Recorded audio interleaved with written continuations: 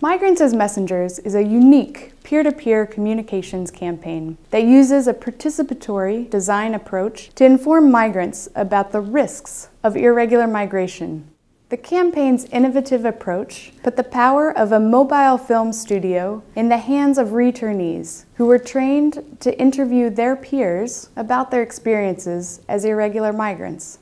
The results were a catalog of over 5,000 powerful and highly personal stories from trusted voices that were shared widely across social media, radio, and at dozens of community events in Senegal, Nigeria, and Guinea. The scientific evaluation of the campaign in Senegal found the approach made a significant impact on public attitudes and perceptions about irregular migration among young people. To learn more, check out the Impact Evaluation Report of Migrants as Messengers campaign today.